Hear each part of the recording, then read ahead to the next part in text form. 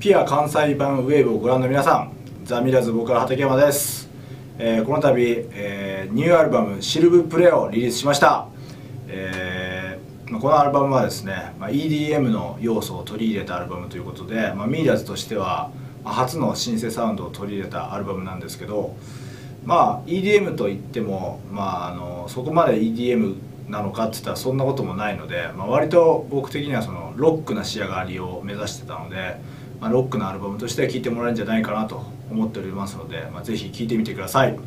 そしてですねあの大阪、えっとライブ来ます、えー4月15日ですね、えー大阪ミュージッククラブジャニスで、えーライブやります。4月15日です。4月15日金曜日。ぜひ遊びに来てください。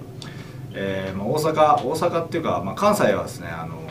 僕よくまあライブとかねもうツアーとか来てますけど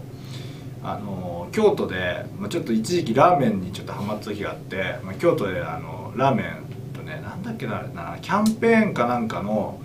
なんかあの深夜終わって